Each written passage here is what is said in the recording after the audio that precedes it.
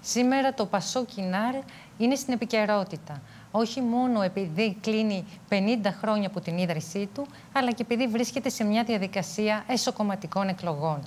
Κοντά μας έχουμε τον κύριο Στέλιο Παναγούτσο, μέλος του Πασό Κινάρ και υποψήφιο βουλευτή. Καλησπέρα σας κύριε Παναγούτσο. Καλησπέρα σας. Να είστε καλά. Ε, να ευχηθούμε καταρχάς χρόνια πολλά στο κίνημά σας που σήμερα γιορτάζει 50 χρόνια από την ίδρυσή του. Ναι, έτσι ακριβώς. Ε, σήμερα είναι βέβαια μια μεγάλη μέρα ούτως ή άλλως για τη σύγχρονη Ελλάδα. Είναι η μέρα του πρώτου συντάγματος, το οποίο ε, ψηφίστηκε, παραχωρήθηκε από τον Όθωνα, όταν αυτός εξαναγκάστηκε βέβαια από την Επανάσταση, το 1843. Από ό,τι γνωρίζουμε, ε, ήταν αυτός ο λόγος που επέλεξε ο κύριος Ανδρέας Παπανδρέου, ο αείμνηστος, αυτή την ημερομηνία για να ιδρύσει το κόμμα σας. Σωστά; Ναι, αυτό πιθανολογείται. Δεν, το έχει, δεν, το, δεν είναι γραμμένο πουθενά έτσι ε, ότι επέλεξε αυτή την ημέρα, αλλά είναι πολύ πιθανό γιατί πράγματι η 3 του Σεπτέμβρη ήταν μια εμβληματική ημέρα, μια και ε, ε, ήταν τα γεγονότα που έκαναν να, να υπάρξει σύνταγμα στην Ελλάδα. Ήταν μια ε, σημαδιακή ημέρα. Και έτσι ακουγόταν τουλάχιστον ότι ο κύριος Παπανδρέου την επέλεξε για αυτό το λόγο. Κύριε Παναγούτσο, πόση σχέση έχει το σημερινό Πασό Κινάρε με το ΠΑΣΟΚ, το Πανελλήνιο Σοσιαλιστικό Κίνημα, που ίδρυσε ο Ανδρέας Παπανδρέου πριν από 50 χρόνια ακριβώς; Ακούστε, δεν ξέρω και κατά πόσο θα έπρεπε να, να έχει μείνει το ίδιο. Έτσι. Δηλαδή θέλω να πω ότι έχουν περάσει 50 χρόνια, είναι προφανές ότι οι, οι καιροί αλλάζουν, α, οι, τα αιτήματα του κόσμου αλλάζουν, ε, αλλάζουν οι συνθήκες. Είναι προφανές ότι ε, ε, ένα, ένα κόμμα θα πρέπει να εξελίσσεται και να, και να αλλάζει ούτως ή άλλως. Αυτό το οποίο όμως μπορούμε να πούμε και μάλιστα το λέει ένας άνθρωπος ο οποίος πρακτικά, καλά το 1974 δεν μπορούσε να ήταν σε ένα κόμμα, αλλά το, το 81 δεν, ε, δεν ψήφισε Πασόκ. Δηλαδή, εγώ είμαι από τους ανθρώπους οι οποίοι ήρθαν στην, ε, σε αυτή την παράταξη αρκετά αργότερα, αλλά ε, μπορώ να, άρα μπορώ να είμαι και λίγο πιο αντικειμενικός σε αυτά που λέω. Ήταν η δημιουργία του Πασόκ, ήταν μια επανάσταση πρακτικά για την μεταπολιτευτική περίοδό μας.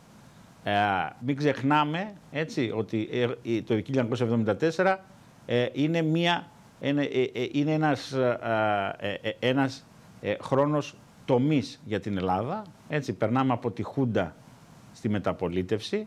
Έχουμε λοιπόν μπροστά μας μία χώρα η οποία ε, ε, ήταν αποδομημένη και απαξιωμένη από όλο τον σύγχρονο κόσμο και θα πρέπει να αναγεννηθεί. Νομίζω ότι το Πασόκ ήταν αυτό το οποίο ήταν το πιο ρηξικέλευτο κόμμα εκείνη την εποχή. Ήταν, το, ήταν η, η διακήρυξη της 3 του Σεπτέμβρη είναι, θα έλεγα ακόμα, ε, ε, υπάρχουν πάρα πολλά κομμάτια τα οποία είναι ακόμα επίκαιρα αν το διαβάσει κανείς, έχει πολύ ενδιαφέρον. Δηλαδή είναι κομμάτια τα οποία ποτέ δεν, ε, ε, ε δεν ήρθαν στην επικαιρότητα ε, και τέλος πάντων ήταν μια προσπάθεια του να βγει η χώρα από μια μαύρη,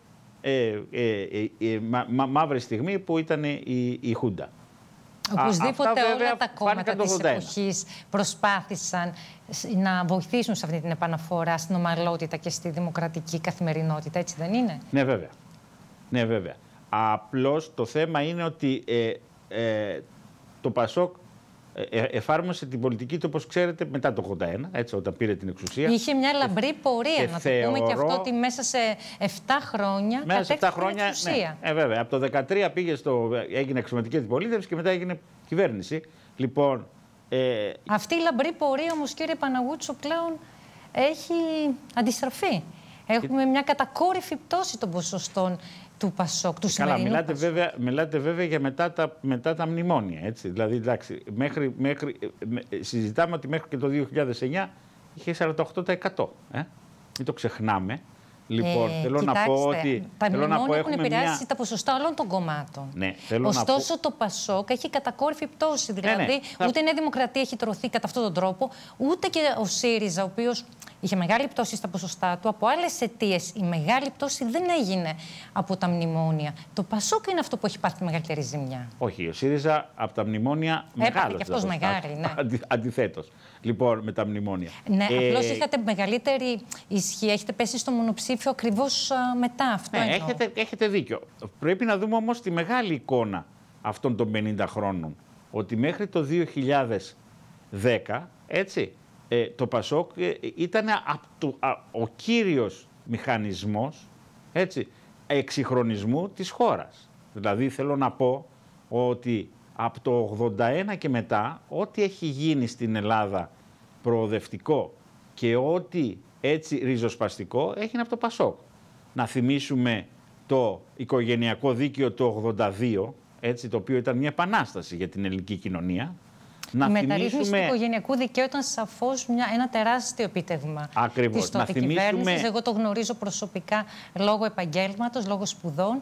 Όμως το ΠΑΣΟΚ επίσης έχει καταλογι... έχουν καταλογιστεί Ίσως όχι άδικα, οι επιλογές, οι οικονομικές επιλογές ε, της περίοδου, οι πολιτικές της περίοδου 81-89 που οδήγησαν στη μετέπειτα κρίση που ακόμη την πληρώνουμε.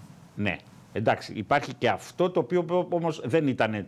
Ε, ε, δηλαδή, εντάξει, ήταν σημαντικό, όπως το λέτε. Από την άλλη, όμως, υπήρξε και μία μεγάλη ανάπτυξη και μία, α, ε, ε, και, και μία μεγάλη έτσι, ε, ανακούφιση των φτωχότερων στρωμάτων. Έτσι. Ε, επίσης, θέλω να πω ότι από το, από το Πασόκ έχουμε όλες τις μεγάλες, έτσι, ε, ε, ε, τι- τι- τις μεγάλες δημιουργίες του κοινωνικού κράτους. Το ΕΣΥ. Μην ξεχνάμε το Εθνικό Σύστημα Υγείας, το οποίο είναι επίκαιρο και τώρα στην εποχή μας που πάει να το ο, καταργήσει η υπάρχουσα κυβέρνηση, ε, ε, έχουμε τις μεγάλες ε, ε, κατακτήσεις του ΑΣΕΠ, ακόμα και τον ΚΕΠ, θυμάστε, δηλαδή όλα, ό- όλα αυτά που έχουμε, που ξ- ξέρουμε όλοι μας σαν αρ- αρτικόλεξα, έτσι, είναι δημιουργίες κάποιου ο, ε, ε, κόμματος που λέγεται Πασόκ. Τώρα, να πάμε το γιατί ε, έχασε τα ποσοστά του μετά το 2010. Κύριε Θα σα- Παναγούτσο, το σημαντικότερο είναι, σαφώς το ΠΑΣΟΚ έχει κυβερνήσει για πάρα πολλά χρόνια, το μεγαλύτερο διάστημα ουσιαστικά της μεταπολίτευσης, τουλάχιστον το 81, είναι, ήταν οι κυβερνήσεις του ΠΑΣΟΚ. Ε, οπωσδήποτε όλα τα βήματα πρόοδου που έγιναν σε όλα αυτά τα διαστήματα ε, τα, τα αποδίδουμε στην κυβέρνηση, τα αναγνωρίζουμε στην κυβέρνηση του ΠΑΣΟΚ. Ωστόσο, είναι και όλη, όλη αυτή η περίοδος, η περίοδος που η χώρα καταχρεώθηκε και η περίοδος κατά την οποία οι πολίτες έμαθαν ας πούμε σε έναν τρόπο ε, διαβίωσης και διαχείρισης, κάπως πάταλο, Εντάξει, αυτό χωρίς έχει να λίγο- υπάρχει αυτό έχει λίγο- επένδυση των Αυτό, α, πόρων. ναι. Αυτό είναι Ε, το χειρότερο. Και νομίζω ότι ίσως παίζει και αυτό κάποιο Ναι, πάντως ρόλο να- α- αν στην πάρουμε- αποδόμηση του αν Πασόκ πάρουμε- στην ναι, πορεία. το καταλαβαίνω αυτό που λέτε και, έχει, και αυτό έχει, έχει ε, υποθεί με, με πολλά λόγια. Αλλά να, ας πάρουμε λίγο τα πραγματικά στοιχεία. Ας δούμε ότι την, α, τη διακυβέρνηση ε, του Πασόκ α, το 2004, έτσι, την α, διαδέχθηκε η κυβέρνηση του κυρίου Καραμαλή, όπως θυμάστε. Ο, α, αν θυμηθούμε τους, ε, τους ρυθμούς ανάπτυξης τότε που είχε επιτύχει επισημήτη η κυβέρνηση του Πασόκ, θα δούμε ότι τα πράγματα δεν πήγαιναν τόσο άσχημα και, είχαν, και είχε συμμαζέψει αρκετά πράγματα από την προηγούμενη περίοδο στην οποία αναφέρεστε. Αλλά ήρθε βέβαια η ιστορία του Καραμαλή, ο οποίος προφανώς είναι αυτός που μας έριξε στα βράχια. Δηλαδή, Δεν το η τετραετία συζητάμε. του Καραμαλή το λέει, ευθύνεται το για τα λέει ο χρέη. Γιούγκερ, το λέει η Ευρωπαϊκή Ένωση, το λέει σε ψήφισμα πολυσέλιδο το Ευρωπαϊκό Κοινοβούλιο. Τι λέει; έτσι, και, όχι, και έχει και το όνομα. Εντάξει. Κω, Κω- Κωσ- Κώστας Καραμαλής. Δηλαδή δεν είναι ότι λένε γενικός και αορίστος, έτσι. Τον, τον, ο, ο, ε, ε, τον ονομάζουν κιόλας. Έτσι, δεν το συζητάω. Μπορούμε, μπορούμε να ανατρέξουμε και στο ψήφισμα του, του Ευρωπαϊκού Κοινοβουλίου, το ποιος φταίει για την κρίση στην Ελλάδα, και, στο, και στις αναλύσεις ακόμα και του Στουρνάρα. Εντάξει. Λοιπόν, αλλά και προφανώς και στο περίφημο βιβλίο του Γιουγκέρ. Κοιτάξτε, λοιπόν, κύριε επομένως, Παναγούτσου, υπάρχει επομένως, σαφώς αντίλογος αυτό, επομένως, αλλά να, να, να, η χρόνη μας είναι περιορισμένη. Ναι, πάντως να πούμε, Ε, επειδή συζητήσαμε γιατί έπεσε το Πασόκ τόσο πολύ, εντάξει, Ναι, να ο- το συζητήσουμε Πασόκ- σε αυτό, το, για αυτό το Πασόκ, θέμα. το, το Πασόκ α, ε, μπήκε, ε, ε, προσπάθησε να σώσει την Ελλάδα. Αυτό είναι βέβαιο. Και ε, ε, προφανώς υπέγραψε τα μικρο- μνημόνια. Προφανώς εφάρμοσε τα μνημόνια.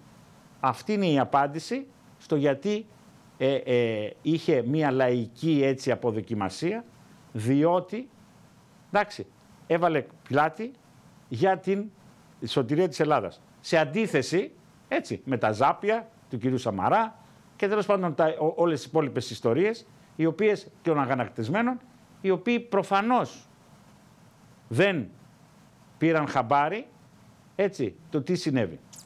Κύριε Δηλαδή- Παναγούτσο, πάντως α, αυτά που προαναφέρατε έρχονται σε κάποια ε, αντίφαση με την πραγματική κατάσταση. Δηλαδή, αν είναι τόσο ξεκάθαρο και γνωστοποιημένο ότι η αιτία της α, ε, υπερχρέωσης της χώρας είναι και η διακυβέρνηση του κυρίου Καραμαλή, δεν μπορεί να εξηγηθεί πώς το ΠΑΣΟΚ μόνο και μόνο επειδή ήταν το πρώτο κόμμα που εφάρμοσε μνημόνια και όλα τα επόμενα ακολούθησαν, έχει πέσει τόσο πολύ το ποσοστό του σε μονοψήφιο και δεν μπορεί να συνέλθει. Καλά, κοιτάξτε. Προφανώς υπάρχουν και άλλες αιτίες. Εγώ που σας είπα την κυριότερη, ξέρετε ότι, ότι δεν μπόρεσε το, το Πασόκ να ξαναβρει την, α, τη σύνδεση με τα λαϊκά στρώματα, τα, τα, τα πιο λαϊκά στρώματα, μετά την, α, την εφαρμογή των μνημονίων. Αυτό είναι βέβαιο, το, το, ε, έχει καταγραφεί σε όλες τις έρευνες και βέβαια και φαίνεται και τώρα στα αποτελέσματα της, ε, των τελευταίων εκλογικών αναμετρήσεων Πού χάνει το Πασόκ, χάνει δυστυχώς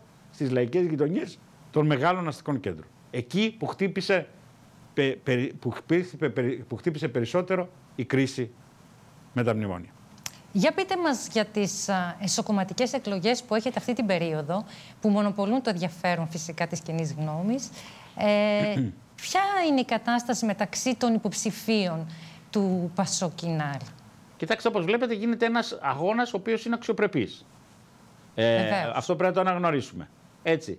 Ε, αυτό που πρέπει να καταλάβουμε είναι ότι ε, ε, ε, πρακτικά έτσι, όλοι οι, οι, ο- ο- ο- ο- ο- όλοι οι ενδιαφερόμενοι, δηλαδή και όλοι οι υποψήφοι, ε, έχουν να δώσουν το δικό τους σε αυτό και έχουν να δώσουν και τις δικές τους, και τις δικές τους ε, ιδέες.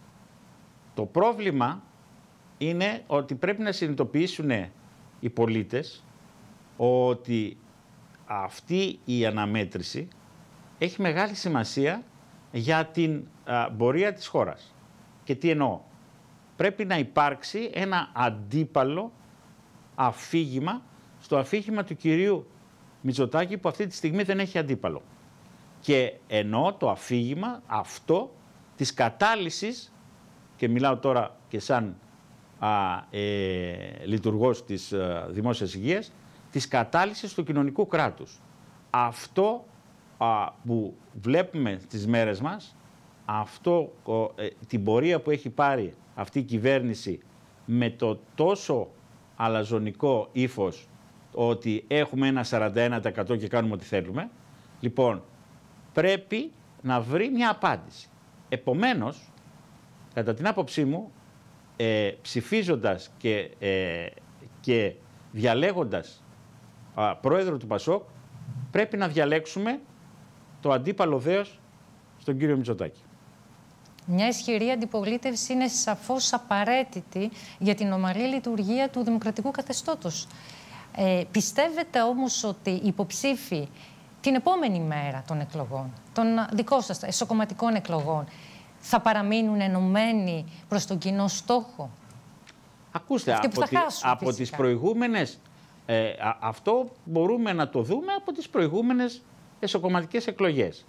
Εάν εξαιρέσει κανείς τον κύριο Λοβέρδο, θα σας πω ότι όλοι οι, οι υποψήφοι μείνανε και στηρίξανε τον κύριο Ανδρουλάκη. Θυμάστε, είχαμε αρκετούς υποψήφιους και τις, τις προηγούμενες εκλογές. Βεβαίως. Λοιπόν, όπως επίσης στηρίξανε την κυρία Φόφη Γεννηματά στις προ-προηγούμενες εκλογές και νομίζω ότι έχουμε μια ιστορία, υπάρχει μια ιστορία που λέει ότι ε, από τέτοιες διαδικασίες το, η Δημοκρατική Παράταξη βγαίνει ενωμένη. Ελπίζω να γίνει και, αυτό και τώρα και δεν βλέπω κάποια σημάδια α, που, να, που να δείχνουν το αντίθετο, διότι σας λέω ότι ε, όλοι αναγνωρίζουν ότι γίνεται μια πολύ αξιοπρεπής έτσι, προεκλογική εκστρατεία. Ε, το ίδιο αποτέλεσμα θα υπάρχει ενώ προς τη συνοχή της α, ομάδας του κόμματος θα υπάρχει ακόμη και αν επανεκλεγεί ο κ. Ανδουλάκης, ο οποίος έχει συγκεντρώσει πολλά πειρά και πολλές αμφισβητήσεις στο πρόσωπό του. Νομίζω πως ναι, ότι όποιος και να βγει, ε, θεωρώ ότι δεν θα, δεν, θα, δεν θα υπάρξει άλλη αμφισβήτηση. Δηλαδή, δεν νομίζω ότι θα υπάρξει το σύνδρομο του ΣΥΡΙΖΑ, ας πούμε, ότι βγάζουμε, ε, ψηφίζουμε για αρχηγό κάθε έξι μήνες, πρακτικά, γιατί αυτό προτείνεται. Λοιπόν, και νομίζω ότι θα πάνε όλα καλά. Αυτά είναι τα μηνύματα δηλαδή που δέχεστε από, τους, από τη βάση και από τους ναι, ναι υπόλοιπους με τους οποίους έχετε επαφή. Ε, σας ευχόμαστε τα καλύτερα στην παράταξή σας.